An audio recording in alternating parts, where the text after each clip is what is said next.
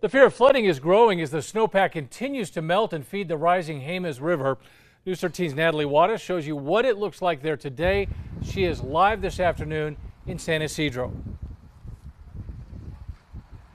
Dean, since yesterday, the Jemez River has flooded campgrounds. And as you can see behind me right now, it is up on Highway 4 and it's turning some people's fields into marshlands. You can see how far it went. You can see how far it went. We're trying to stop it because we didn't want it to go underneath the trailer to have it sink.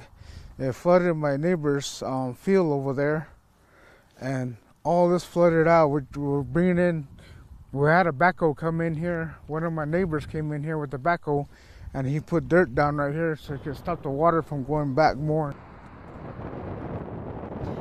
John Piro says the water was so high yesterday it reached the highway and in some cases was as high as truck doors. The Sandoval County manager tells me what we're seeing here as the Jemez River floods is what's known as a sheet flood. The water rushing so fast and with so much volume, it's jumping the banks and saturating everything in its path. The gauge near Jemez Springs shows the river is still about seven and a half feet deep, with about six times as much water flowing through it as a week ago. Now, the county manager says they have three major issues right now imminent flooding in San Ysidro, potential flooding in Jemez Springs, and making sure that the wastewater treatment plant doesn't overflow and pollute the river.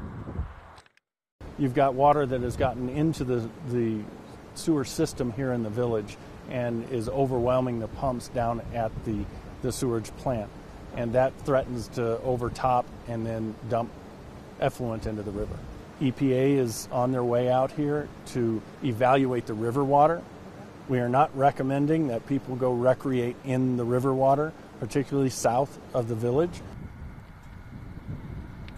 Johnson emphasizes the drinking water is fine, but residents are advised to use their sewer systems as minimally as possible as they try to keep the system working.